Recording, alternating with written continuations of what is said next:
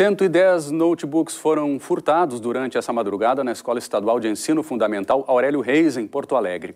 Os equipamentos faziam parte de um programa de inclusão digital e eram usados em diversas atividades pedagógicas. Os professores e a direção da escola fazem um apelo para que os computadores sejam devolvidos.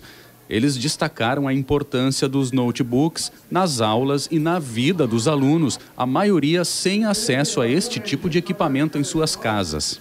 Eles trabalham matemática, português, geografia, química, língua portuguesa, literatura, né, porque tem Wi-Fi, então eles pesquisam os trabalhos.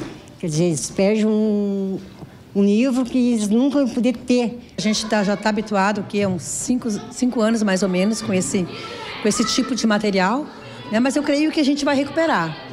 A Polícia Civil investiga o caso e chama a atenção da população para a oferta de notebooks, especialmente na internet.